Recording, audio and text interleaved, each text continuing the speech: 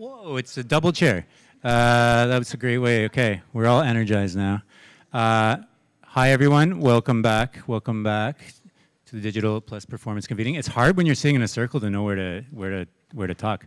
Um, just before we get started, I just wanted to kind of just talk a little bit about how the morning went and, and like some some things that the Spiderweb show and HowlRound team saw from the morning and, and just how kind of disparate the two sessions were that we started this kind of conversation. We were bouncing ideas off of each other and, when we were going in one direction and then the next session became kind of more of almost like a panel discussion but across Zoom with tough audio and like a lot of light and like a lot of uh, just a lot to take in. And so uh, just to acknowledge that that is where we are in this conversation today and that this afternoon we're trying to re-energize and bring back a lot of those values and, and the kind of the nature of the conversation uh, of the first conversation that we had. Um, I also uh, just wanted to just talk about cell phones a little bit. Like this is the interactivity um, session we're about to start, and so I really want to give permission for people to use phones and hopefully use them in a way that's related to this discussion. So nobody's in trouble for having their phone out, and uh, you know, but also be cool if you tweeted something. Um, the other thing that I wanted to say is uh, hi to the internet. Uh, it's good to remember that there is an online audience here with us. Welcome, Internet, to the Isabel Bader Center for the Performing Arts and the Digital Plus Performance convening run by HowlRound in collaboration with Spiderweb Show. And if you have anything to say, please tweet something to hashtag foldA, and I will look at this board maybe and see if I can't bring at least one or two of your comments into this conversation as well. Uh, the last thing I wanted to say is if you've signed up for the Electric Company's VR experience, Kyle's right there. Kyle will take you in at your time. So that you just go over to Kyle and that's how you go and, and do that experience today. Great. Okay, so here we are, session three, artists and audience interactivity, AKA from monologue to dialogue. Uh, and so uh, I have with me here, and you can just put up your hand so people know who you are, JD Derbyshire, Jen Stevenson, Kristen McWhorter, Whit MacLaughlin, and Brenda Bakker Harger. Okay, welcome and thank you. So we all know how this works. I'm just going to check somebody's timing. Somebody's timing here. Anyone? Bueller? Bueller? Uh, thank you. Adrian's going. Yes. Can we have the chimes? Thank you. I don't need to chime anyone's talking, but I just need to know when we're going to move the circle outwards. Uh, maybe do some math on how much time we got left and let me know. Thanks. Okay, great. So, uh, so this session, you know, we've so we started by talking about strengths, weaknesses that we think is going on in the digital shift. Then we talked to Prague about what they've been thinking about at the Prague Quadrennial, and now this conversation is very specifically about interactivity. How has the interactive nature of digital tools changed, modified, not changed at all? Uh, the way that artistic practice manifests itself. And uh, I'm going to start by throwing to Jen uh, Stevenson because her and I had a really interesting email back and forth just about participation and like mm, the ethics and the assumptions of that. Uh, hi. Okay. So. Um, I'm Jen Stevenson, and I am uh, I'm a what? I'm a scholar and a writer, and I think the writing part is really is really important to me. So I try and uh, see I try and see a lot of work, and I try and think about what I've seen, and then I try and communicate that to, um, in various formats. Some of them scholarly, and some of them more popular. Uh, and the thing that I'm thinking about a lot at the moment is this word participation, um, and thinking about some of the roots of participation. Um, I think we're I think we're living in a moment where um, we're seeing a flourishing of participation in lots and lots of ways. Um, and I think some of that, I think there's two roots where that comes from. I think one of them has to do with um, a desire for authenticity, a desire for, um, I'm going to say unmediated connection. We can talk about what exactly that means to be unmediated, but we're interested in, we're interested in um, realness, we're interested in liveness, we're interested in things that are authentic, things that we know where they come from. Um, and we see this in lots and lots of ways. We see this in um, desire for um, DIY. We see this in desire for you know organic vegetables and backyard chickens and um, vintage clothing, all this kind of thing. We want to know where stuff came comes from, and we don't want to be connected to it really um, really intimately, and I think we want to be involved. We like things that are custom and that are ab- about us and for us. So I think that's one part of it, um, which leads to this sort of um, desire for participation to to make the thing itself, to, to make the art, to make the story, to to be involved, to have it be for me, by me, about me. I think there's there's some narcissistic element to that as well. Um, and the other thing is that maybe the technology aspect is I think some of it, um, this participation is um, enabled by think about um, think about Web 2.0, think about technologies that now become interactive, um, thinking about being able to write back to um, to to self-produce, to write and have lots of people read it. We all have our own printing presses now. We all have our own personal publishing houses now. We we can um, we can take photos and send has millions and millions of people can see them. And so I think we expect we expect to be artists, we expect to be authors, we all expect to be creators because technology has put that into our into our hands again, direct contact with a lot of people. Um, so I think those two trends together um, are feeding um, feeding participation in art. We're seeing more and more participatory art. Um, so that's what I think about a lot. Um, and then I have a whole bunch of questions. So some of the questions about ethics, about what does it mean from an ethical point of view to make, um, for me to labor, to produce my own art, to be to be a participant involves some of my, um, I become a laborer. Um, I also think that my stuff is being used. My physical labor is being used, but my emotional labor is being used, and my um, my autobiographical data is being used. Um, and I say used, but the paradox is I like it.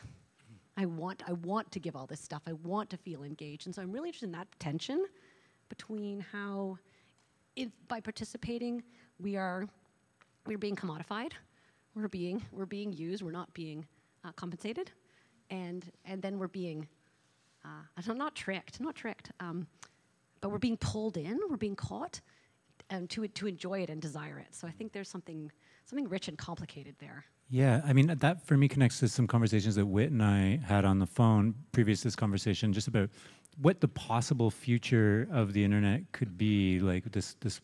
I think we talked about this phrase of like the walls disappearing, and I'm wondering if you could connect anything that that we were talking about to what Jen said there. Uh, Whit MacLaughlin. Um, yeah, I think early on there was a, a, a dream somehow that the internet could evaporate barriers between people.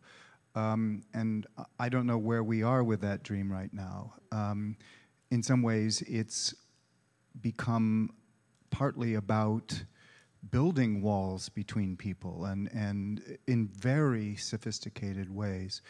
Um, but the idea was that somehow uh, connectivity was going to take what happened in the darkened room of the theater with the moat around it and the ticket taker and explode open the walls and we would suddenly like feel this transparency this translucency and and and uh, um, everybody could come whether they were a ticket buyer or not. And somehow the internet was going to give us this um, uh, boundaryless world and I'm kind of wondering where we are with that. And, and, and so if we're talking about interactivity, what, what kind of interactivity are, are, are we wanting here?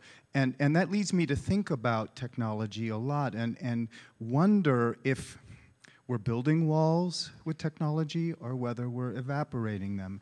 Um, I, I feel like um, maybe what we're wondering is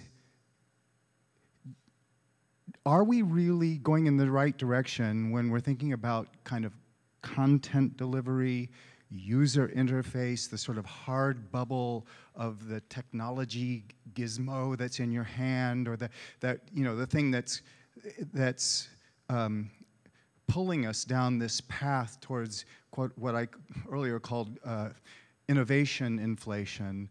Um, and I'm not positive that's really a good term, but or um, are we looking for something a little more ephemeral? Are, is there some way that interactivity can get the screen out of the center of the experience? And I think of Elijah's cup at the Seder. Uh, like there's a seat there, empty, and the table is, you know, is lined with people who are going to eat, and then there's one seat, maybe, uh, not to go too far with that metaphor, but, but maybe that's where the digital apparatus sits. And it's not the center, and we're not all looking at it, but it's over there. Because I wonder if there's a way to use digital technology that actually enhances the possibility of serendipity.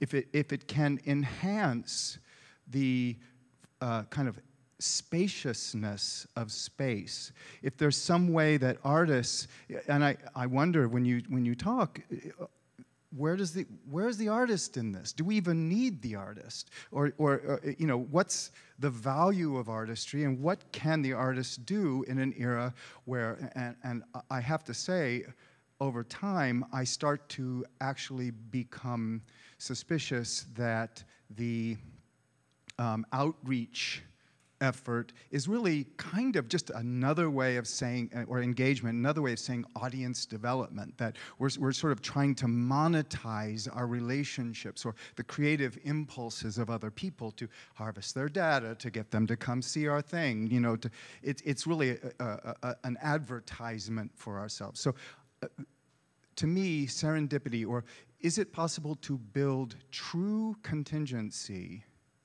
into our performances using, um, using um, digital media? Can we, uh, and contingency uh, really means the fact that what is happening could at any point be something else for no reason at all.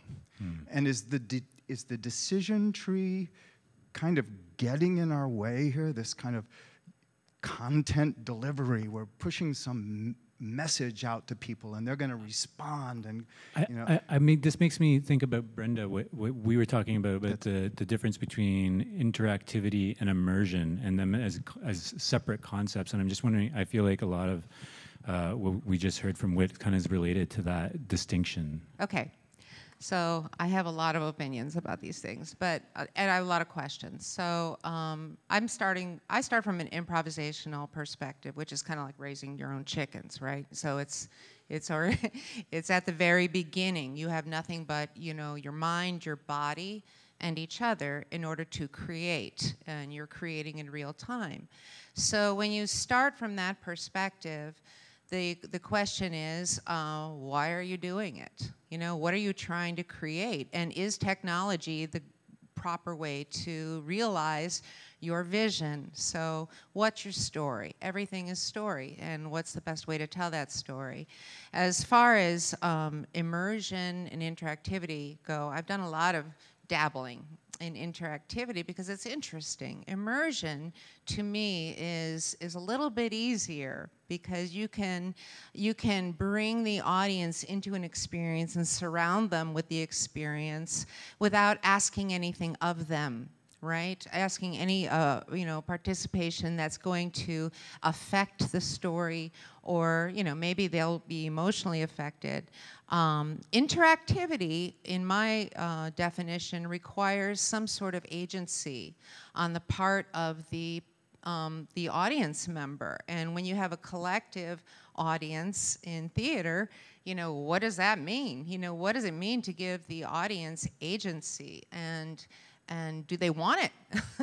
And um, you know how and then furthermore how does that affect the story you're trying to tell? If you believe that story is something that is meant to change us and to and to affect us emotionally to trigger our brains into changing our minds and changing our behavior um, you know then interactivity becomes very murky and uh, the interesting thing is that uh, video games, which a lot of my students go into, have the same issue.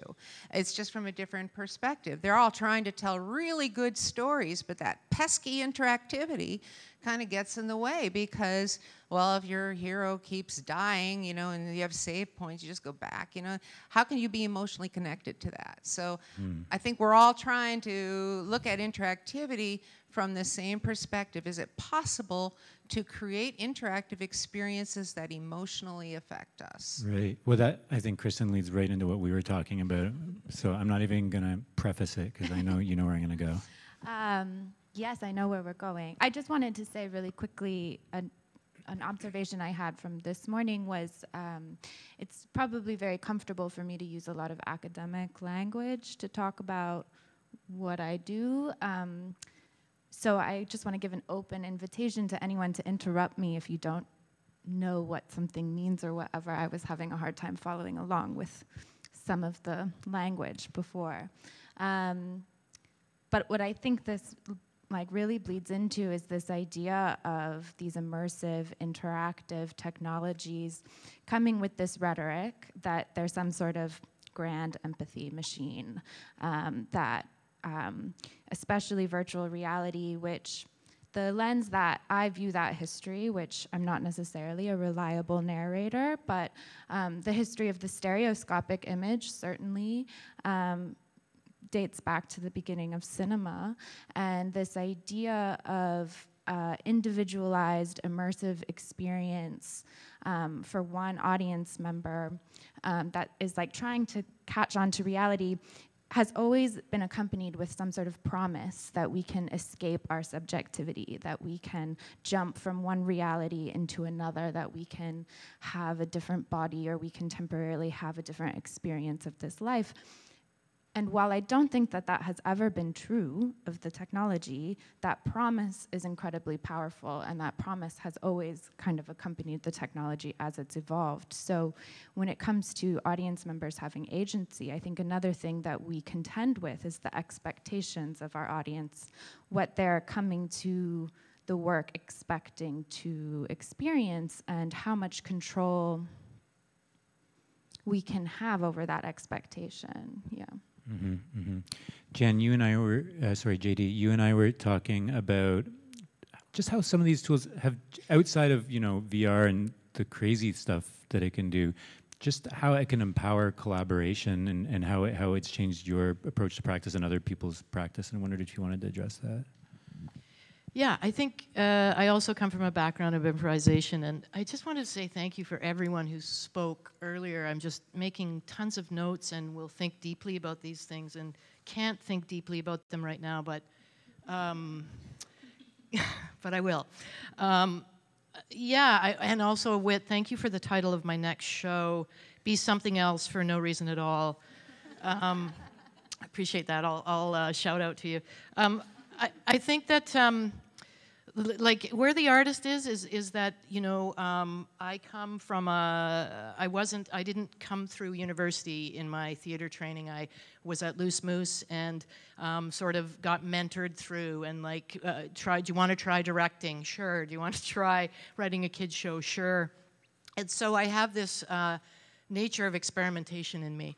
And so there's all kinds of tools. Uh, where the artist situation is, is someone said earlier about what we need is artists thinking creatively about the tools.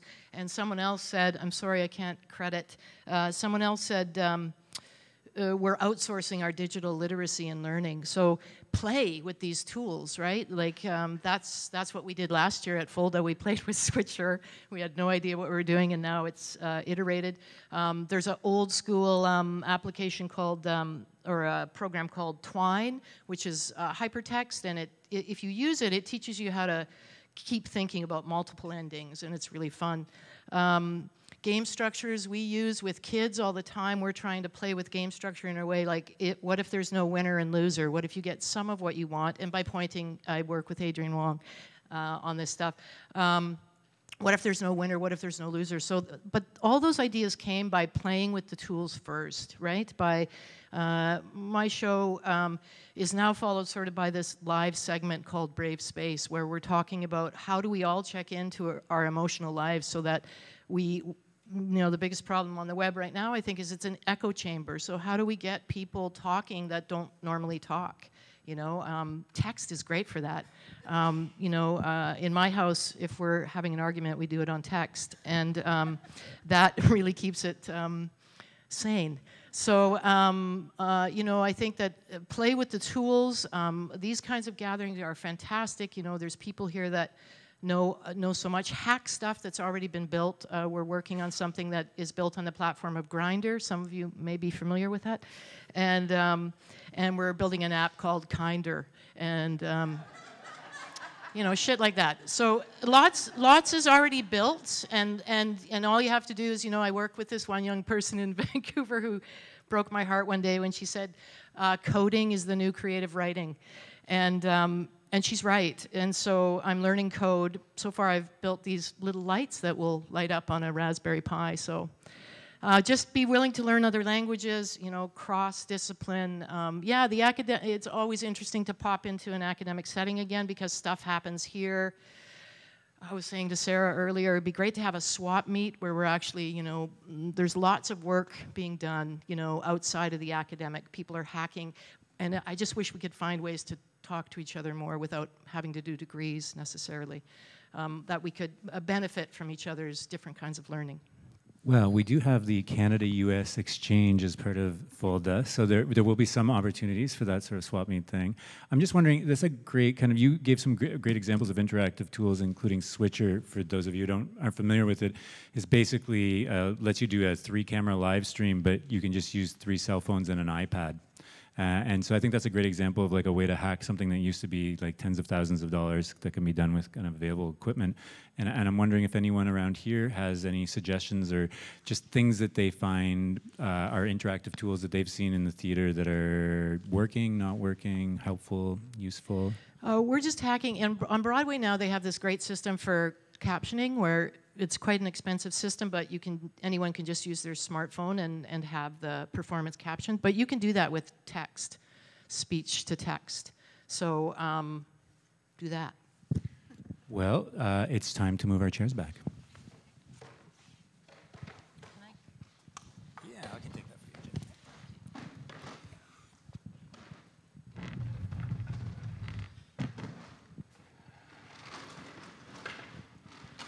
So this is the time where the, the brave amongst us join in.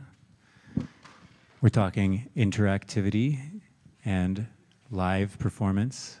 What changes? What's different? What works? What sucks about it? We have one lucky joiner, so you definitely get the microphone. All right, just one point, sort of picking up on the conversation. I think uh, when you're talking about interactivity, uh, it's uh, important to be clear who's interacting with what, because there are lots of different configurations. So on the one hand, um, you have performers interacting with each other, right? And you've got performers interacting with audience, and then you might, and then you're adding technology into the picture. So where does it fit? So the technology can be an interactor, in which case you can have performers interacting with the technology and the audience watches, and that's actually still a lot of really exciting work happening there if the technology is truly responding, interacting in many ways. You can have the audience interacting with the technology and creating an interesting dynamic experience with no live performer. But when you try, and, that, and there's millions of applications of that, but I think what people were talking about is when you have the three, where does the technology fit in? And in a lot of the cases that I heard you guys talking about, the way that I would think about it is actually it's people interacting with people with the technology being a conduit. And that could happen either through telematic you know, uh, communication, so if you're interacting with people online, uh, maybe through a kind of game engine that creates avatars. Uh, so the technology there, uh, again, is creating an environment for human beings to be interacting with each other. Hmm. Um, uh, and then there were, and that can be happening live too, even in the most annoying interactive events where you hit the button and you vote on something and then the performers do something different. There too, the technology is a way to communicate that interaction. So just to be thinking clearly about where the interaction is happening. A, between technology and person or person to person. That's right, and with the technology being a conduit, or if the interactivity is on the stage or between the audience. Right, right, right, right. Good questions. Something over here?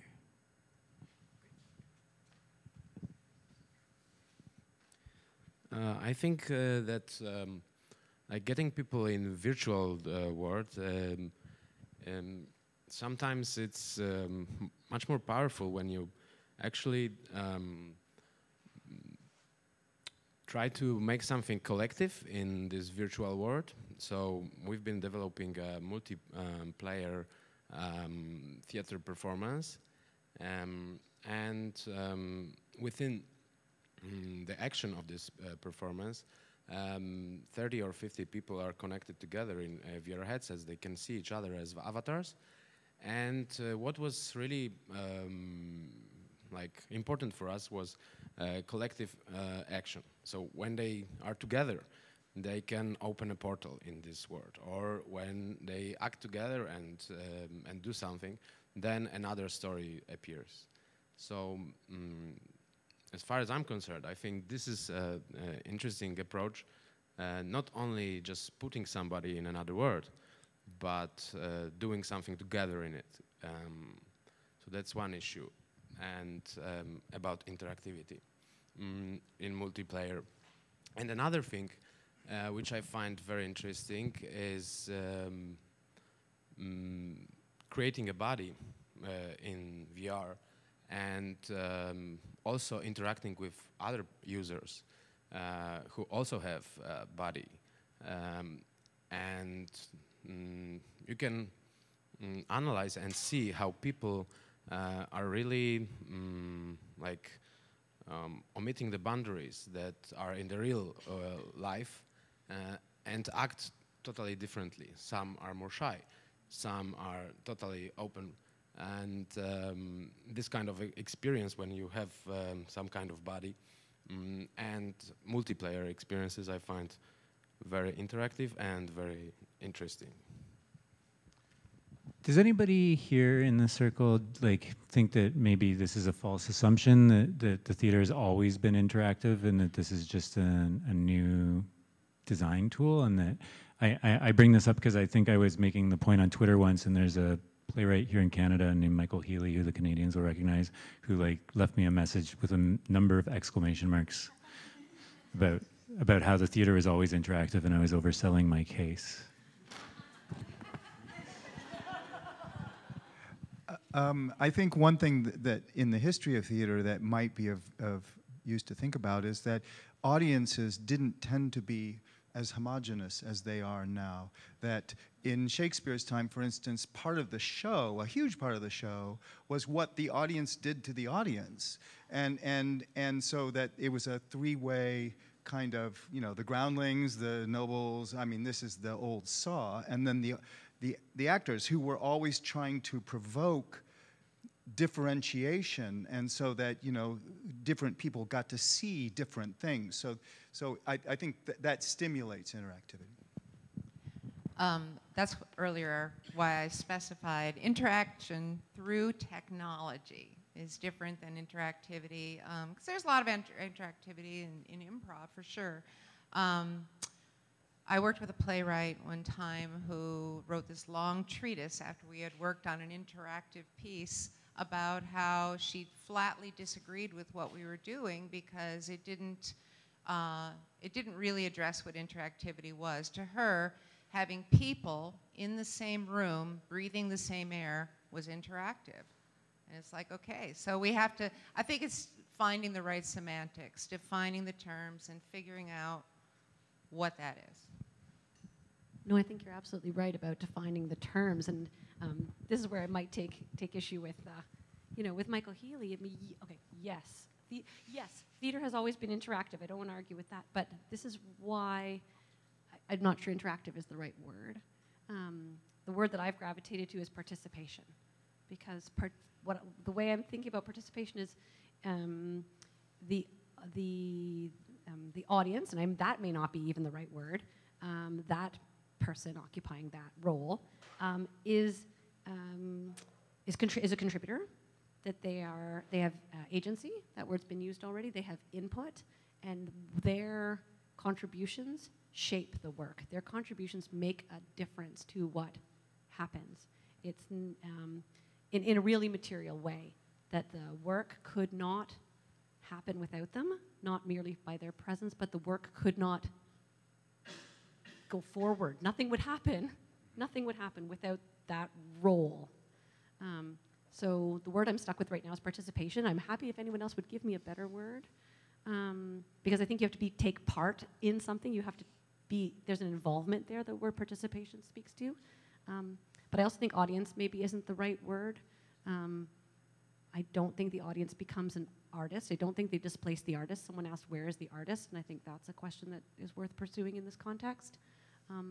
The word that I'm sticking with right now is uh, player, because I've heard a lot about games already this morning. Thinking about the participatory audience is a, is a player. Um, that's where I'm at. But I would love to hear other people's thoughts about words um, and about, yeah, and about interactivity versus participation, or if there's other um, words in that cluster that might fit better the kind of thing we're trying to capture, uh, which I think is new.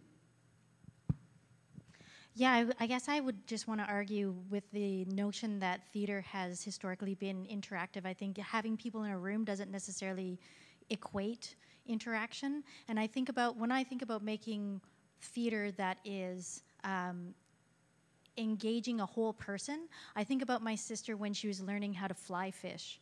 And she talked about she loved fly fishing because when you go out into the river, there are all the things that you have to consider in order to be able to catch the fish. You have to consider the temperature of the water, the speed of the current, the temperature of the air, what insects are hatching right now, what time of day it is, where's the sun, where's the shadows that the ro- of the rocks, where are the eddies on the water, and where the fish are going to be hiding.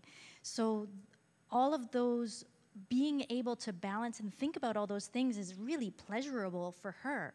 And that makes her feel like she's inside of this experience and that she's not just a, a passenger on someone else's experience. And that, that description from her is something that's guided me a lot as I create work is like, how am I making use of, which is again, we're going over that, but how am I inviting somebody to bring their whole selves into this experience and their three dimensionality and their complications and their contradictions in a way that they feel like they're being um, uh, invited to participate, invited to problem solve, to to engage.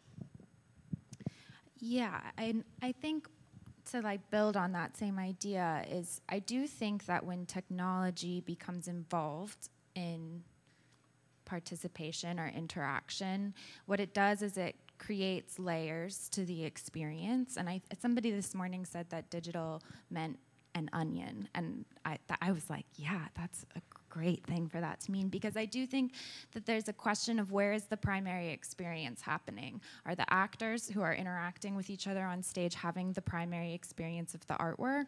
Actually, probably not.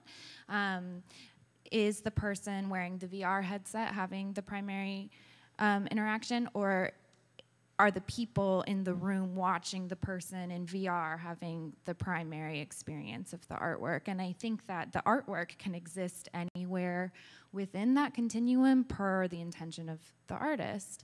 Um, but this question of shaping the experience is specific to where you exist in relationship to the technology as those experiences are unfolding. Yeah, so uh, it's been mentioned a couple times like we're if we're using or using is a terrible word, but we're using people in an experience to creatively advance the experience. So um, to me, it's, it's like this issue of true co-design. So co-design is this term that's become popular, but true co-design is if I'm building for this group of people, they're in from the start. Therefore, they're paid from the start, they're credited from the start, whether they are have my my I can leverage my experience as a writer or a director, but they are their lived experience in building that experience is valuable and therefore paid. And so a lot of times we, we see um, kind of a, you know, a hangover almost from uh, research, right? That we can just glean stories. But the moment a person tells us a story, then we, we have to acknowledge that. We have to pay, honestly. And we have to, in the co-design, uh, invite participation there. So in other words, even in this, we are as an ambivert who spent most of the morning back on the couch there, um, even this is privileging extroverts. So we're we're building with extroverts. We're making experiences with, with extroverts. You know, we're um, and and and what we're trying to do with our kid stuff anyway is like build opt-in, opt-out, so that if you're inside an experience and you you you can leave it, you can relax, you can you know, different. We have different stations, but I think it's really key that that is one thing that technology can do bring together a lot of voices, but we have to value those voices. We have to say this is shared author- authorship, this is shared creation. Yeah, did you have something you wanted to add to that? Yes, Go for I, it. I think about interaction on um, several levels, and um, first is um, when it comes to VR and connected uh, VR with uh, theater. Um, first, the environment that we are creating virtually um, should be solid, and then the interaction happens. Um, then another thing that is important is communication, when you can really talk to a um, character, an animated character, or another um, person who is uh, participating in it. Then another thing is when you can move the objects and uh, interfere with uh, the environment, mm, and um, and when you make mm, magic with style or with, with some uh, visual effects, let's say. Um, but also, I would like to mm, just mention about uh, Grotowski's uh, theory, uh, art as vehicle, and uh, I think there are many types of theater, and um, and it could be all interactive, but um, in this theory, um, theater was supposed to be uh, used like the whole space. Uh, there is no division. Uh, nobody is dividing the audience and the actors. Everyone is participating, and all the space is used. So mm, for me, this is the, the true interaction. Hmm. I kind of want to propose a provocation here, which is that um, is it is it that we're actually shifting uh, eras in terms of mm, going from from from art that is like uh, driven to to more of a collaboration driven approach to art, or perhaps the the new auteur is a, a collaborator. Could I, yeah, so, um, well, for, in terms of that collaborative, as you, as you, as you're bringing up Grotowski brings in, the, a lot of these ideas of collaborative art really come from, I mean, even before this, but certainly Fluxus and performance art in the 1960s, um, and the idea of participatory theater, and it goes even before that as well. So the technology is um, providing new ways potentially to create the kind of participation or to create the, in most cases, I think the illusion of participation without any real participation. Uh, but I Oh, did wait, want, can you elaborate on that? well, so I'm thinking in particular of uh, game structures, both in gaming and in this game structure, where there is in fact a very, very limited um, path that you can take.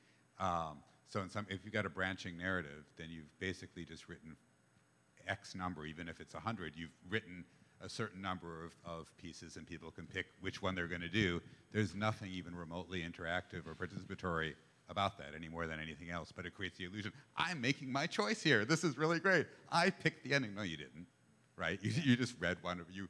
You passively consumed one of the endings that had been prepared for you, uh, and uh, that politically could be very, very problematic in giving people this feeling of empowerment when they absolutely have none. Yeah, I mean, we just, a lot of us, I think, probably experienced Bandersnatch a couple of months ago, which is totally that framework. I- I'm so sorry to do this to you, Gata, but can, can you come sit here and just talk about what we've been working on? Because it's, it's too related.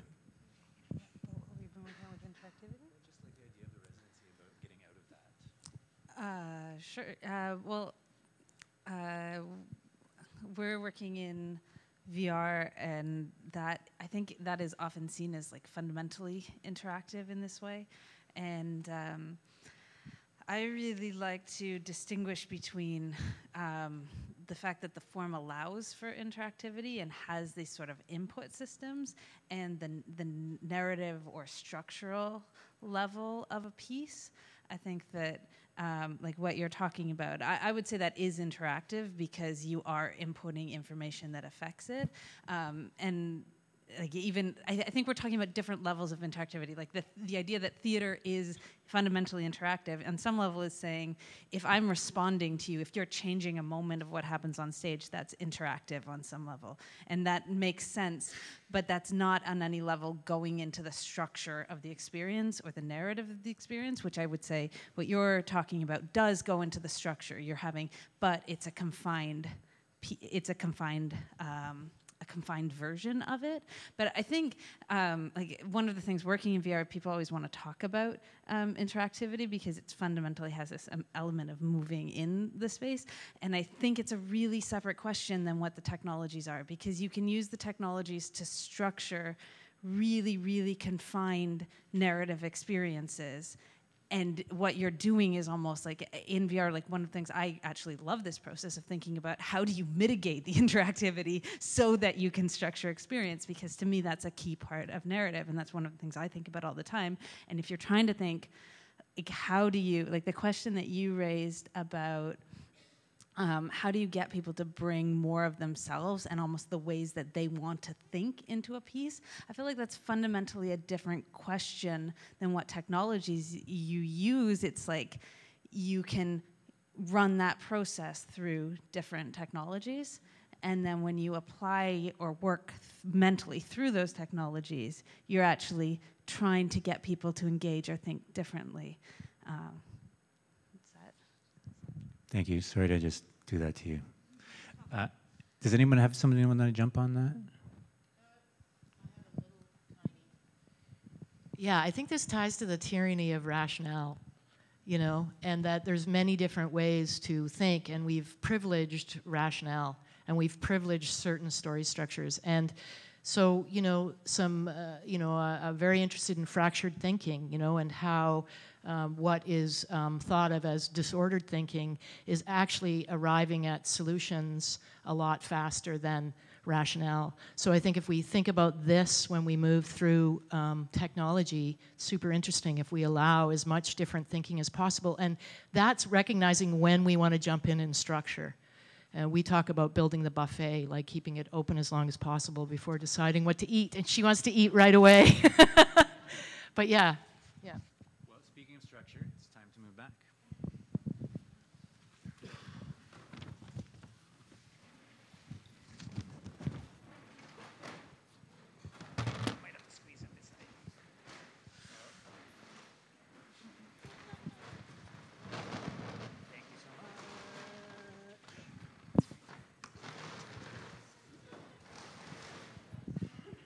Okay.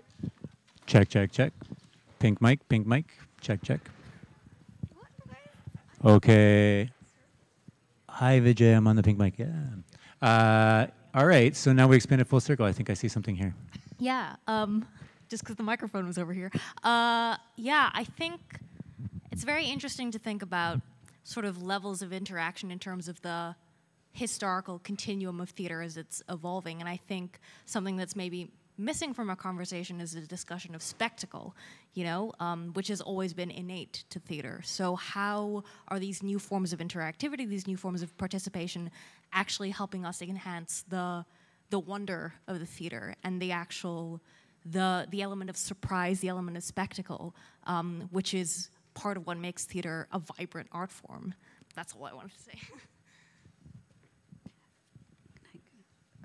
Um, I, I, just wanted to also go back for a little bit. I think uh, Brenda was mentioning the idea of immersion, and I wanted to maybe, uh, actually more of a question, like hear a little more about it, and um, thinking that, I mean, maybe I'm wrong, but um, I think across all really art forms, the idea of uh, suspension of reality is such is something we strive for. We want as uh, participant, audience, uh, artists uh, this engagement that takes us, you know, there were also many interesting points about uh, different body, a different place. Um, and I do wonder if, uh, you know, I have worked with various ways of in, including in, um, interactivity in my work. Sometimes using technology actually, we want to incorporate because we want to uh, expand on that suspension of reality. We want uh, to draw the audience, our participants more into the work and make it more immersive. But I think it sometimes happens that actually we end up on the other side of it because we, um, we kind of activate activate a person's body or mind in a moment where they're uh, finds another place might actually kind of have the opposite effect of it. And I don't know, maybe this is kind of actually a question. If you can talk a little bit more about that idea of immersion versus interactivity. I guess I'm next. Oh, or someone Yeah.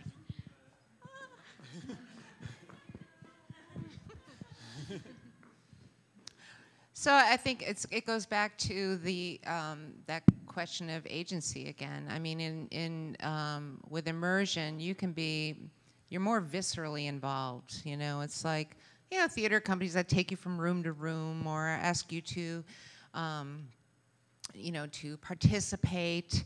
Uh, you eat a meal with them, or you know, there's I mean, there's just all kinds of different forms of really immersive theater. I mean, more so. I mean, in, in the sense that all theater is immersive, because I, I do believe that um, emotionally. Um, but there's that physical immersion. Um, interactivity to me is a different game. That's where you make you actually make choices that affect outcomes. So there are consequences to uh, what it is that you do that um, that changes the outcome. And sometimes it's a binary choice, you know, and it's not, you know, a little bit branching narrative. Um, sometimes it's more devastating, you know, but it's all depending on consequences to the actions that you take. That's to me more interact. That's interactive. So does that help?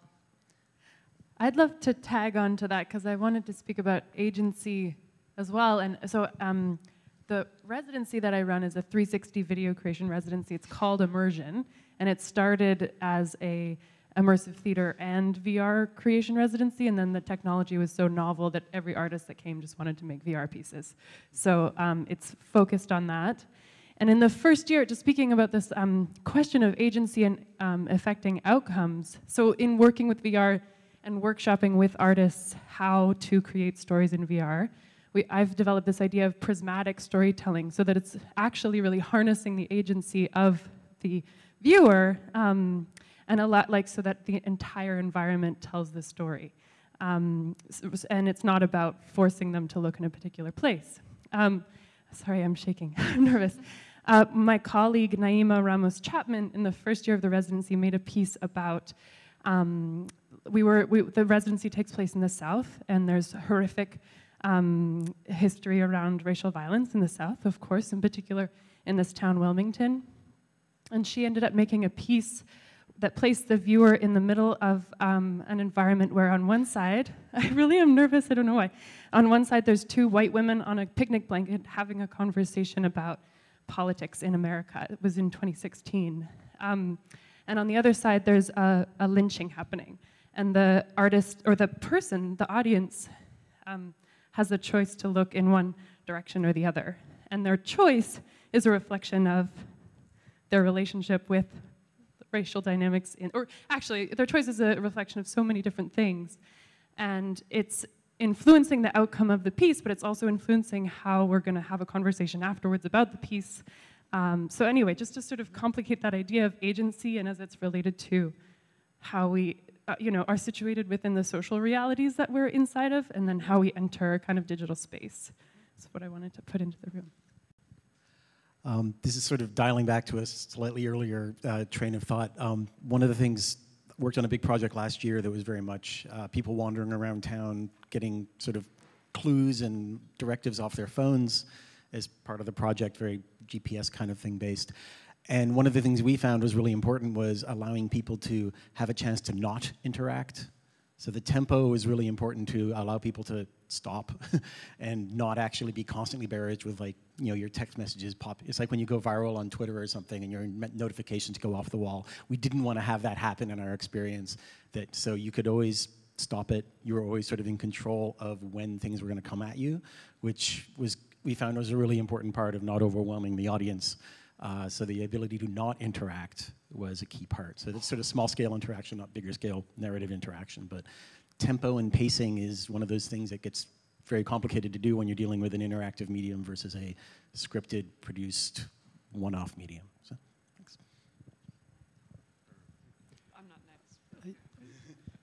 There's different uh, different ways of, of con conceptualizing things. And, and, in our in our case, uh, in some of the work that we've been doing, is, is we've been looking at um, immersion uh, and its relationship to to to presence, uh, and ultimately looking at at um, at how to impact uh, emotionally and, and how to uh, um, have some sort of empathetic reaction from the audience. So the, uh, the way that we've been looking at it is that, that as with a book or a, a really well done film, uh, there's an immersion that takes place. But, but with, with virtual reality, a lot of what uh, people have been looking at in the literature anyways is looking at, at, at virtual reality uh, and the different ways that, that you can immerse uh, technically. So, so the elements of immersion in a lot of the work on, on virtual reality is, is it spatialized sound? Is it, is it, is it, is it, is it stereoscopic? Uh, or is it, uh, is it, is it 2D? Uh, what's the fidelity of the image? And in that context, the, the interaction that you have is, is seen, oftentimes seen as another element of the, of the technical. So comparing, you know, do you, uh, can you look, do you, do you just look around? or, or do you actually have the ability to, to, to move around uh, and to be able to see the space behind, uh, which gives you more interactivity within the scene. Simply looking around like this is, is, is like looking at a, an IMAX screen in a sense, but it gives you more, more, uh, more ability to do so. But then looking at, someone earlier talked about uh, in, the, in the, the smaller group, uh, the idea of, of presence really.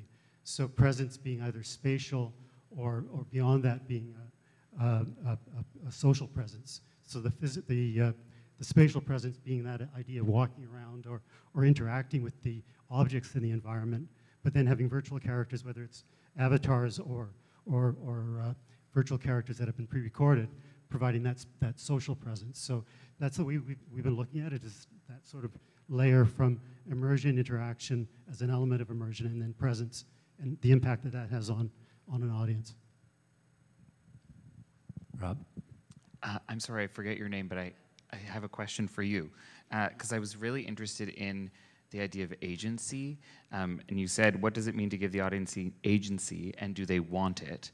Uh, and I've worked a lot with audiences, and I did a show that Michael commissioned, curated me to do, I guess, so he saw it, uh, in where I had three community members, and we taught them all how to use Twitter. And then Beth, who was on the screen earlier, did all this amazing video design. And these three women in their 70s like talked about legacy in the context of leaving things on the internet versus leaving things in real life and what that means for them. And we asked the audience to tweet back to pre-written tweets that had come as sort of a pop-up video for the show. So the women had written sort of a subscript to be tweeted out live during the show, and we asked people to tweet back. And we had quite a number of people in the audience tweeting. But what we found in the end was that what they ended up tweeting largely when we put it all up on the screen for the women to react to was actually recording what was happening or reporting on what was happening rather than engaging in the questions that were being asked. And so the culture of engagement being actually about I was here, which I've seen some of us have done already. You could like I did the same thing this morning. Like I'm here in this beautiful space to report or record rather than to engage or react or question. And I guess I just wondered about the difference when you're talking about agency. What does that mean? We should just good good teamwork with the mic.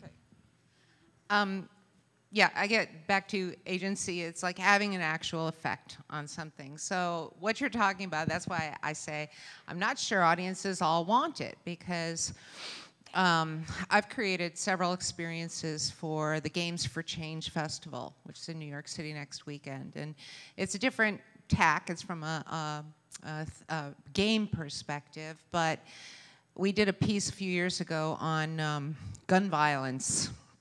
And it turned into a theater piece, and it was about point, counterpoint, counter objectives. And two actresses improvised. I mean, they had a, a loose script uh, story they were following, but they were improvising. One, their friends, one found a handgun in her friend's, accidentally found a handgun in her friend's purse.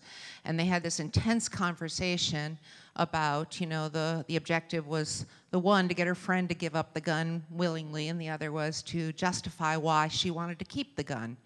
Um, but we also let the audience drive the conversation. So We gave, created an app where they were able to send questions um, and observations and comments on the action. And, um, and then we'd aggregate, you know, the ones that were similar and bring them to the top. And then the actresses had phones in front of them and they had to read. So it was very complicated and involved, uh, very interesting. But, you know, you'd occasionally get like, where did she buy her dress? Um, you know, why doesn't she cut her hair? You know, and so you'd get these catty griefers um, who just wanted to see, they wanted to see whether or not they had agency. Um, you know, it's like, are they really paying attention? Are we really having an effect? And so there's that kind of awkward learning curve you go through when you throw something in front of an audience where they're like, I don't believe it. I'm going to test this and find out if I really have. And then, but, by then you lose something. So you know you get those those oddball comments in, um, and it takes away from the power of what you're trying to create as a theater piece. So it's complicated, and I don't have any answers. I just have a lot of observations about, God, that didn't work, you know, because because we couldn't control that. You know, but if you control it too much and the audience doesn't feel like they have any kind of effect, then they feel cheated. So it's finding that sweet spot which um, yeah, I don't I don't have an answer. So speaking of loss help? of control, What's uh, that? Speaking of loss of control, I, I'm actually going to wrap things up because we're already at the end of this uh, conversation.